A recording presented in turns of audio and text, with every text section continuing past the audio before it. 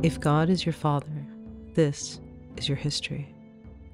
We have some information for you to consider about the calendar God gave to man before the flood, about the timeline of events recorded in this book, about the days we are living in and the days that are soon to come. We have good news.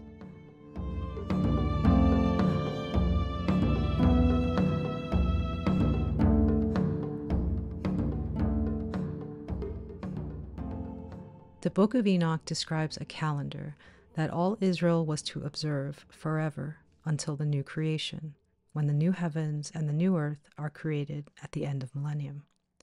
In this calendar, there are 364 days in each year. Each year has four seasons, and there are three months in each season.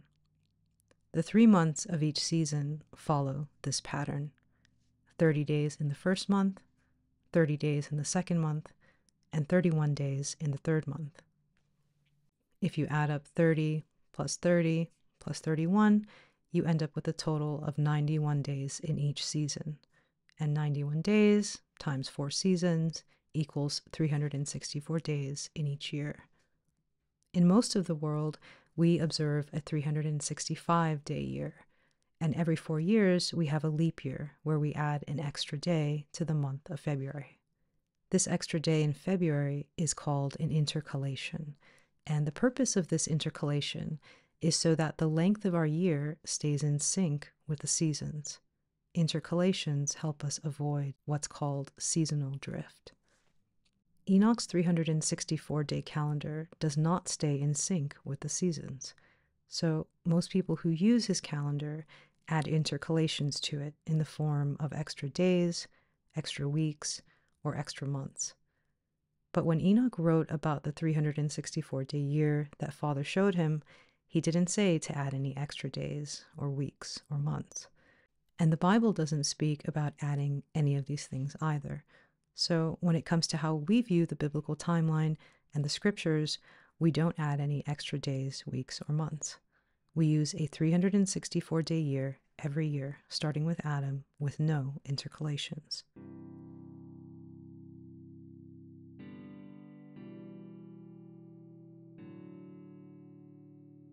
One impact of observing the calendar the way that we do is that feast days, like Passover, drift through the seasons. How are we okay with this? Well, I'll give you a few reasons. One, we think that the calendar that Father showed Enoch matched the natural order of things at the time that it was shown to Enoch, meaning that before the flood, we believe the earth revolved around the sun once every 364 days, not every 365 and a quarter. Since Enoch said that his year is the year for feasts forever until the new creation, we're keeping it the way it is, forever until the new creation. And I believe that ancient Israel could have kept it this way as well, regardless of any seasonal drift. I say that because Father told the people of Israel that if they listened to him, he would send them rain in its season.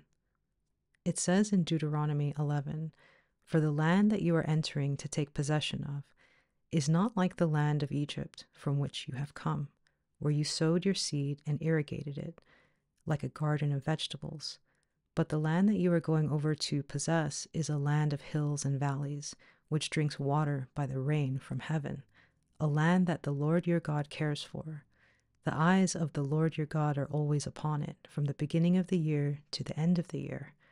And if you will indeed obey my commandments that I command you today, to love the Lord your God, and to serve him with all of your heart and with all your soul, he will give the rain for your land in its season, the early rain and the latter rain, that you may gather in your grain and your wine and your oil.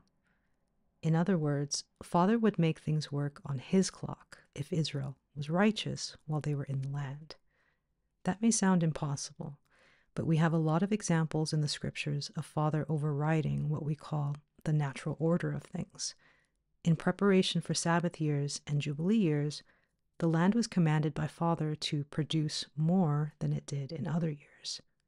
In the wilderness, if you gathered Father's manna and kept some of it aside until morning, the manna would stink and would be full of worms. but that would only happen six days a week. On the seventh day of the week, the leftover manna would be perfectly fine.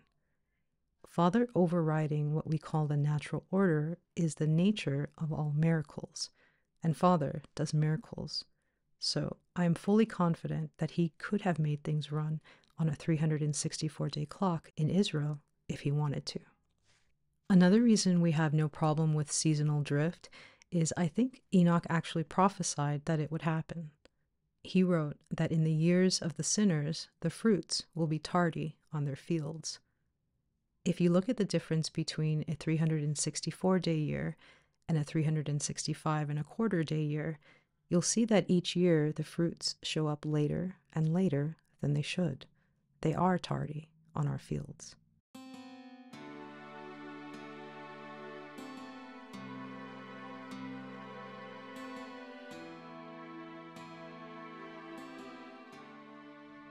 How the Earth went from a 364 day year to 365 and a quarter days as it is now is up for speculation.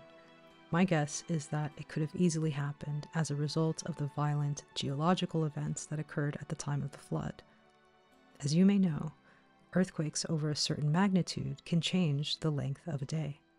For example, in my lifetime, there was an 8.8 earthquake in Chile and a 9.0 earthquake in Japan and it was widely reported that both of those earthquakes affected the rotation of the Earth and shortened the length of our day by a few milliseconds. If you read the account of Noah's flood in the Bible and in Enoch, there was geological activity occurring at that time that was so intense it would have made a 9.0 earthquake seem like nothing. Moses says the fountains of the deep were broken up. That is literally the earth being ripped open and waters bursting forth all over the world. Enoch records that prior to the flood, the earth was shaken and was tilted. And Enoch also saw a vision of what the flood itself would be like. He described what he saw like this Heaven was thrown down and removed, and it fell upon the earth.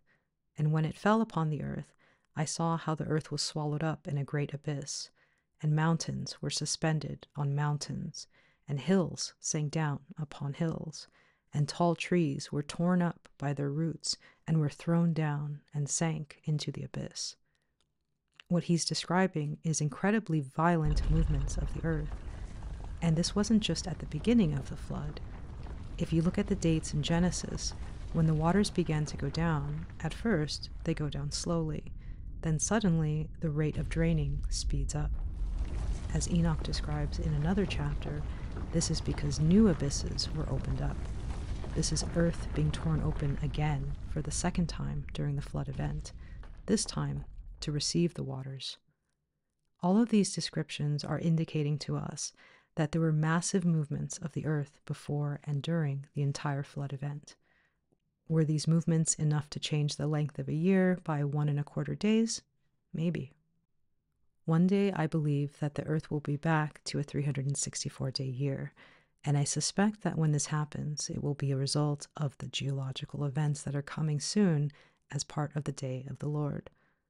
Isaiah records that in that day the foundations of the earth do shake. The earth is utterly broken down. The earth is clean dissolved. The earth is moved exceedingly. The earth shall reel to and fro like a drunkard. Ezekiel says that the mountains will be thrown down and every wall will fall to the ground. All of these words from the prophets sound like earth changing events similar to what happened in the days of Noah. For Father's children, there is no need to worry about earthquakes of any size. As he protected Noah, he will also protect us through what's coming. It's written that heaven and earth will tremble, but the Lord will be a refuge for his people.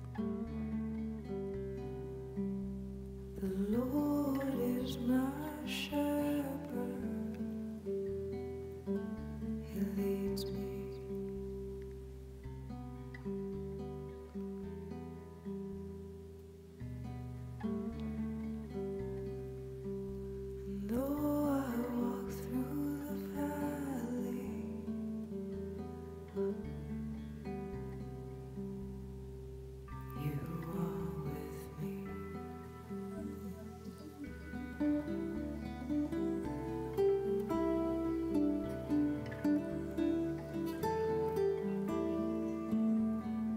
In early 2015, we asked Father if we needed a calendar, and if so, that he give us one. And he said to us that in two months, three weeks, and four days, it would be the ninth day of the fifth month on his calendar. He also said that the Jewish calendar was not his way, but that in two months, three weeks, and four days, from that day that he spoke to us in early 2015, the Jewish people would have the date correct as a sign to us that he was indeed speaking to us.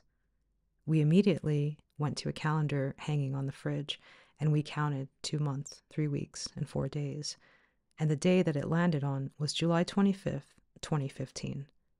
When we looked up that date online in the Jewish calendar, they were indeed observing what they call the ninth of Av, or the ninth day of the fifth month, on that day.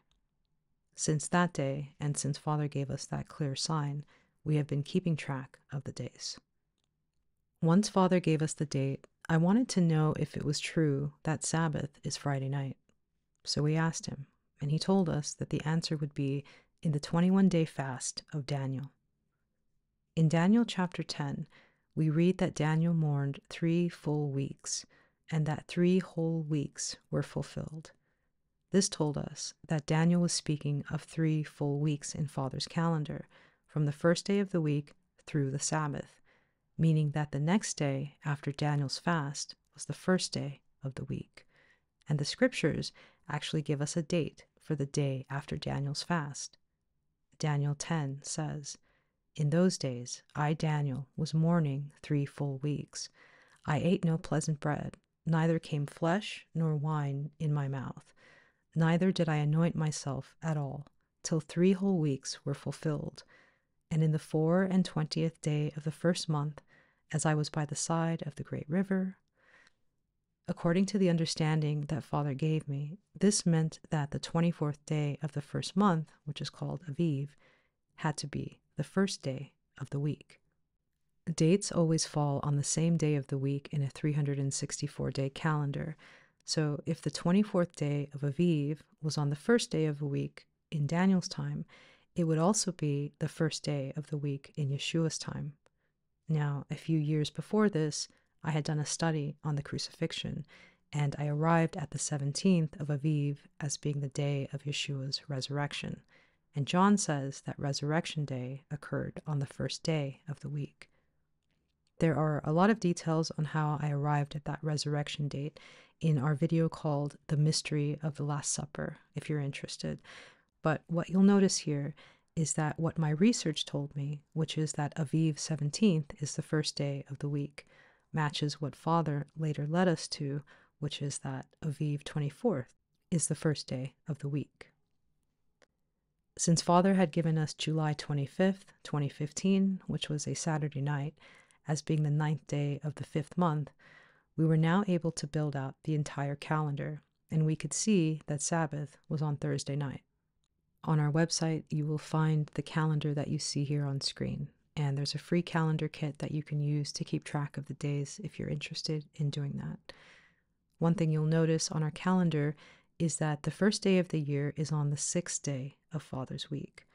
We don't know why he said it this way, but to me, it makes perfect sense since he created man on the sixth day, and this calendar is for man. Another thing that you may notice on our calendar is that we have the days beginning at sundown. This is based on a few scriptures. In Leviticus 23, Father describes the day of Yom Kippur as something to be observed from evening to evening.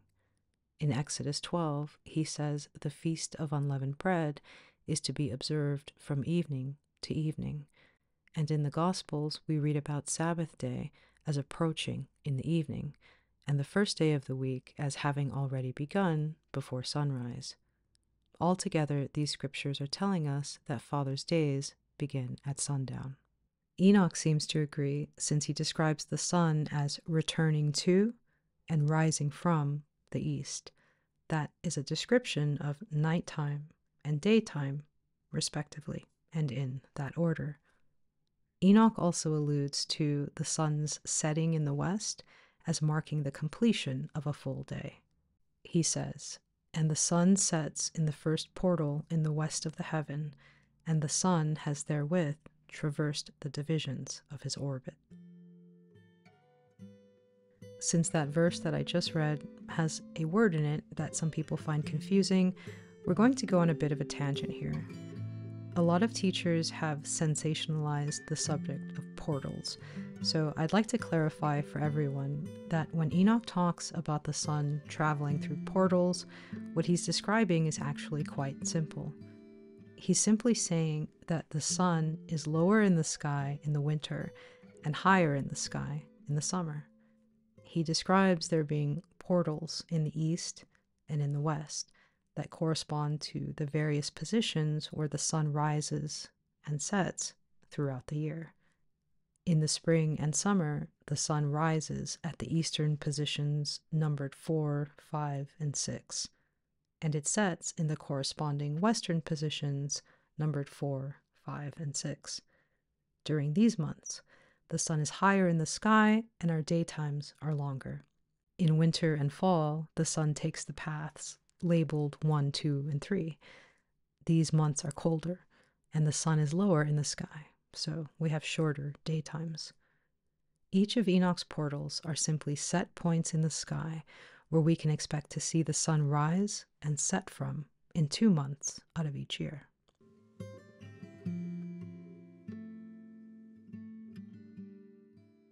Father's calendar, as described in the Book of Enoch, is what the world calls a solar only calendar. On the first day of Aviv, the sun rises and sets, and after it has risen and set for 364 days, that's a full year. But some people think that based on Genesis 1:14, the biblical calendar has to also be determined by the phases of the moon.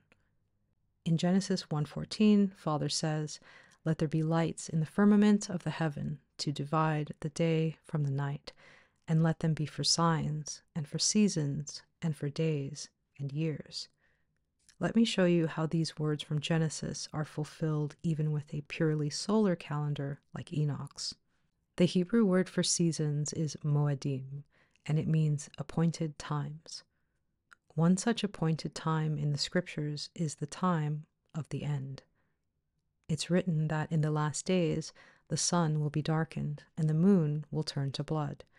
And Enoch speaks of the stars straying from the order that Father set. These are all signs in the heavens occurring in their appointed seasons. In the Psalms, we read that Father established the sun to rule the day and the moon and stars to rule the night. And in Genesis, we learn that part of the function of the moon and stars is to divide the day from the night. So the moon and stars represent night itself. Without night, there would be no days. There would be only one long permanent daytime forever. And if it was always daytime, then there would be no years. So, the very existence of the moon and stars and the nights that they rule and represent are essential to the 364 day count that makes up each year in Father's calendar.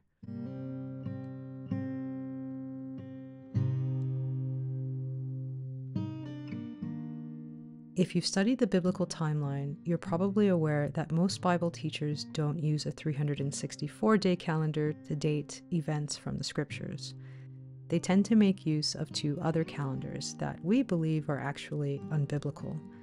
One of them is the modern Hebrew calendar, also called the Jewish calendar, and the other one is the so called 360 day prophetic year calendar.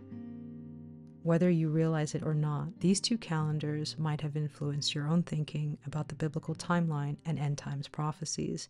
So, I'm going to spend a little bit of time explaining why we avoid them in our studies. For a long time, it was assumed that the modern Jewish calendar, which is lunar, was the one that was used by ancient Israel. However, these days it's more widely known that at the time of the Second Temple, different Jewish groups had different calendars. Some were lunar and some were solar. The moon, as Enoch describes, has its own days, months, and years, and he distinguishes between a lunar year and a solar year for us and he lets us know which calendar we should use because as we showed earlier, he said that the year for appointed times is the 364 day year, which is the solar year. He also says that a year for the moon alone is 354 days long. Since the years of the moon alone are the basis of the Jewish calendar, and since Father told us that this calendar is not his way, we avoid using it. We also avoid it because it relies on the addition of a 13th month to stay in alignment with the seasons. And this 13th month is a particularly troublesome intercalation, since there are several references in the Bible to there being only 12 months in a year. In 1 Chronicles 27, we learn that David made divisions of officers and leaders of men according to the 12 months of the year. In 1 Kings 4, we learn that Solomon had an officer for each month who provided food for him and his household, and that the total number of officers was 12. There's another possible reference to the number of months in a year in Revelation's description of the tree of life, which, depending on how you translate the verse, yields either 12 fruits or a single fruit 12 times a year, according to the months of the year. The book of Enoch is also clear on this matter. It says there are 12 leaders to divide the months. Enoch prophesied that men would be in error regarding four days of Father's calendar. We believe that this prophecy is fulfilled, at least in part, by the modern use of the so called 360 day prophetic year. This calendar is used by so many Bible teachers and Bible scholars that you may have been influenced by it without even knowing it. If you think that the 1260 days of Revelation is the same as three and a half years, that's because whoever taught you that believes in a 360 day prophetic year. The 360 day calendar year theory was made popular because of a book called The Coming Prince, written by Sir Robert Anderson in the 19th century. In his book, Anderson used a 360 day year to apply dates to Daniel's 70 weeks prophecy and to date the crucifixion. But using a 360 day year has no biblical basis. Here's one of the reasons that he used it in his own words. Anderson wrote If tradition may be trusted, Abraham preserved in his family the year of 360 days which he had known in his Chaldean home. At Original Hebrew, we do not think that tradition can be trusted, and we also don't think that Father bases his calendar on the calendar of the Chaldeans.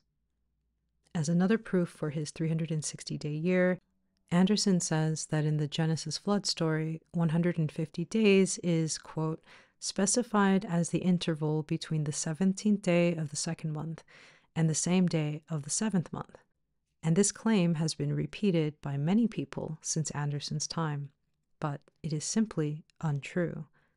Let's take a look at what Genesis actually says. In the second month, the seventeenth day of the month, the same day were all the fountains of the great deep broken up. This scripture is giving us a date for the start of the flood. The waters prevailed upon the earth a hundred and fifty days. After the end of the 150 days, the waters were abated. And the ark rested in the seventh month on the seventeenth day of the month upon the mountains of Ararat. Proponents of the 360 day year theory make the assumption that the day the water started going down is the day the ark landed on Ararat. The scriptures don't actually say that, but people make that assumption on a 364 day calendar, the ark would have rested on Ararat on day 153, not day 151, which makes sense to me since Moses records that the waters on day 150 were 21 feet above the tallest mountains, meaning it would have taken some time for them to drain before Noah's boat could safely land. As one more proof of his 360 day year, Anderson claims that one half of seven years is, quote, described twice as 1260 days in Revelation. But this is also untrue. Revelation never says that three and a half years equals 1260 days. Here's what it does say And there was given me a reed like unto a rod and the angel stood, saying, Rise, and measure the temple of God, and the altar, and them that worship therein. But the court which is without the temple leave out, and measure it not, for it is given unto the Gentiles. And the holy city shall they tread under foot forty and two months. And I will give power unto my two witnesses, and they shall prophesy a thousand two hundred and threescore days, clothed in sackcloth. The assumption that Anderson and many others make is that the 42 months of the nations trampling the holy city is the exact same amount of time that the two witnesses prophesy. But if you keep reading in Revelation, the nations are still trampling the city after the 1260 days of prophecy have ended. It's written that the two witnesses prophesy for 1260 days and then they're killed. And in the days that follow their murder, the people of the city won't allow them to be buried, and the whole world has a huge party for three and a half days. The city is still being trampled, and the end is not yet, because 42 months is longer than 1260 days. 42 months in Father's calendar is actually 1274 days. The prophets prophesy for the first 1260, then they lie in the street for three and a half days after that. That leaves 10 days before the end of the 42 months and before the end of the age. As a bit of a side note, I have a hunch that in those three and a half days when the wicked of the world are celebrating the death of Father's prophets, those same people are saying that peace and safety has finally come to the land because the two witnesses who tormented them with Father's judgments are dead. Paul tells us that once they say peace and safety, sudden destruction comes upon them. If you're a watchman, you know, like I do, that governments and people have been holding peace and safety conferences for many, many years now. But that phrase for now is just a hope and a dream. I think what Paul is describing here is humanity thinking that they've finally achieved their dream of peace without God. But lo and behold, in just a few days from their peace and safety celebration, our dream comes true. Our Lord returns and he takes his place as King of Kings. Looking at the biblical timeline from the perspective of a 364 day year has some very interesting implications for end times prophecies and for our history from Adam. For those of you who have studied the book of Daniel, you know that the number 2300 is part of the end times prophecies. There's something very interesting that I noticed on Father's calendar. On a seven year timeline, 2300 days is the number of days between Shavuot, aka Pentecost, in year one, and Yom Teruah, aka Feast of Trumpets, in year seven. We're not exactly sure what this means, but we know what it could mean. We'll talk about that soon.